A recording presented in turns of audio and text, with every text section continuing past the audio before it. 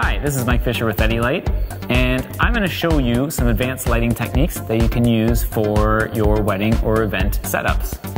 In this particular setup, I've used three PAR 36 lights to uplight behind the backdrop along the wall, and then two 5-in-1 wireless battery lights to uplight from the sides in a crisscross formation at the front of the backdrop. I've also put two LED light bars in the front of the head table to uplight inside the actual head table. Behind our bar setup, I've got two PAR 64 lights behind the backdrop in a crisscross formation, uplighting against the walls. At the top of the backdrop, I've got an LED light bar fastened pointing downwards to downlight the sheer and also cast some color onto the chandelier. Inside the bar itself, I wanted to create a glowing effect, and so I put two 5-in-1 wireless battery operated lights in a crisscross formation coloring and filling light inside the whole bar. Beside the backdrop, we have a tree, and I've used a flat par to just throw a little light onto it to create some rim light as well as color uh, on the otherwise white tree. All of these lights have connected to my DMX control board wirelessly using a wireless transmitter connected to the, the DMX board, and then different wireless receivers around my scene including the, the wireless receivers built into the 5-in-1 lights. I'm going to take you through all the different lights to show you how I set them up and why I considered each light for its location. The first thing I did with this backdrop was decide what kind of lights I wanted to run along the back behind the backdrop so that they would go up against the wall in an uplight fashion. There's a lot of space here and I really wanted a wide pattern and I feel like the PAR 36s were the lights that would give the widest pattern. So I ran three of them, one per panel, and I connected them using DMX. Every light in this setup is connected using DMX, but I used cables to connect each of these one by one, and the very last one, the farthest one, is connected using a wireless receiver. Because these lights need power, I was able to run extension cords behind the backdrop where they wouldn't be seen. These lights I set onto one DMX address so I could control them together, which was 001. Secondly, I wanted to select the correct lights so that I could uplight my backdrop, and I didn't want to have to put uplights right in front of the panels because it was going to be a high traffic area and there's really not that much room behind the head table. So I chose to go with the battery operated wireless 5-in-1 lights. These lights don't need any cables at all for DMX or for power. So they're perfect to be out of the way, not creating trip hazards. And they create a huge light output. And in this formation, the light goes across and I pointed it all the way to the other end of the fabric so that the fabric is lit up from the side as well as the other light on its other side, symmetrically set up. And it too is going across on an angle, creating a crisscross pattern. Of all my lights, these lights produce the most amount of light, and so they were the perfect light to do the backdrop, and I only needed to use two. I didn't want the head table to be in the dark, so I decided to put some lighting underneath the table, and I didn't want to create a lot of uh, mess or wires underneath the head table that could be hit or bumped from feet, so I used LED light bars and I ran them underneath on the floor, two of them, right at the front. These lights initially showed through the table at full strength where you could see the pattern of the plastic molding of the table. So what I ended up doing is putting sheer drapes on top of the light bars so that it would mute them and dampen the light. I also oriented them so that all the cables would be on this side so that there were no wires on the other side. I got these lights set up together on powering one to the other as each light has a, a receptacle for in power and a receptacle for out power. And I've got them connected using a DMX cable and our first one, I've got a DMX wireless receiver set up on it, so I don't actually need to run a DMX cable from behind. So I did need power. If I wanted to completely eliminate any cables from coming from back here, I would have used the battery operated lights.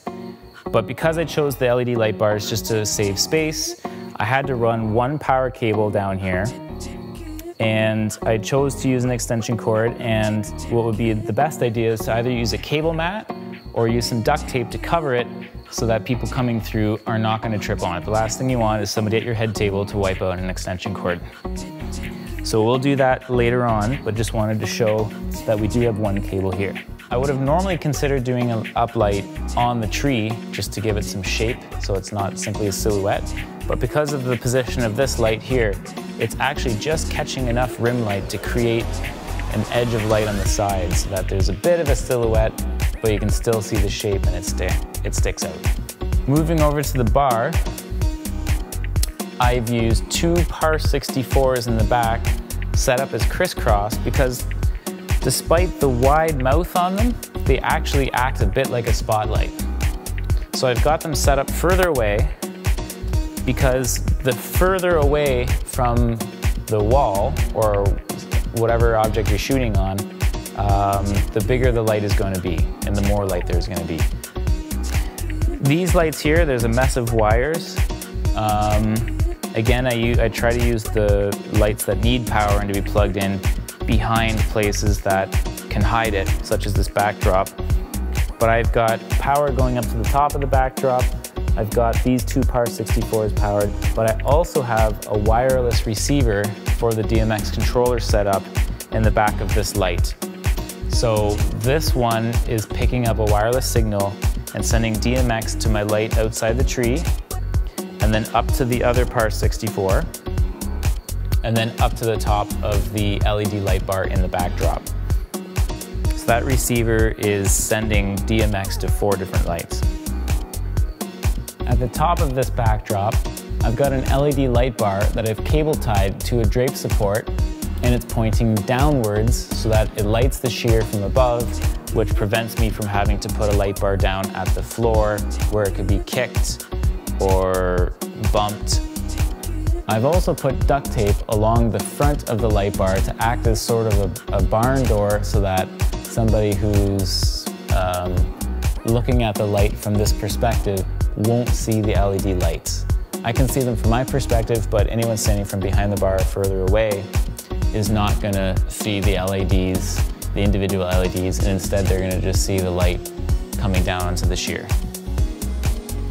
I don't want a lot of light coming down because this chandelier is casting a yellow light and I don't wanna have a conflict of light here, but it's creating just enough of a shade so that the backdrop is visible and there's a splash of color up there.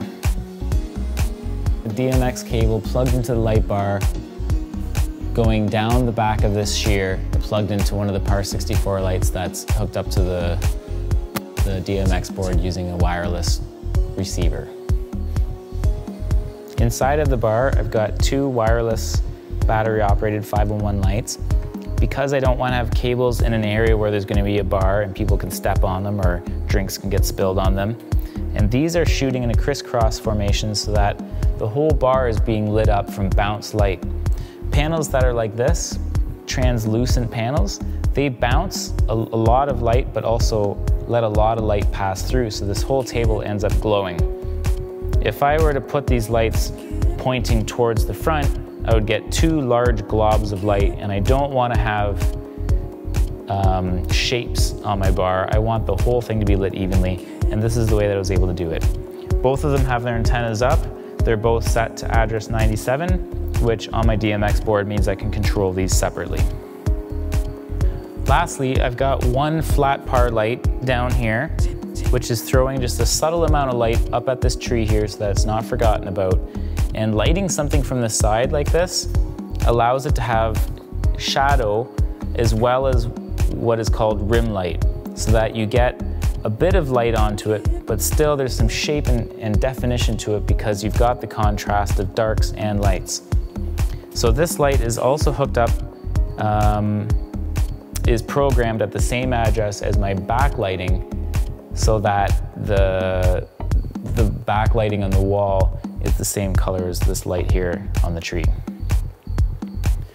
So every one of these lights is hooked up to a wireless receiver um, of course, our battery operated wireless lights have the wireless built in directly. but I've got a receiver underneath the head table so I don't have to run a DMX cable. I've got one wireless receiver behind this backdrop operating one, two, three, four lights. And I've got another wireless receiver operating the PAR 36s behind this backdrop uh, up on the uplighting. So it's a lot of lights and it seems complex, but it's really not at all. It's using different style of lights for different applications and all of them controlled on DMX, which makes my life way easier when I decide to actually set up and color them the way that I want them to be.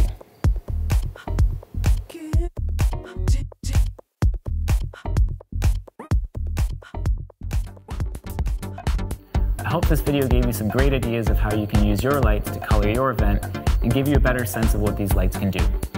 I'm Mike Fisher with Eddylight. For more tips and tricks and information, visit www.eddylight.com.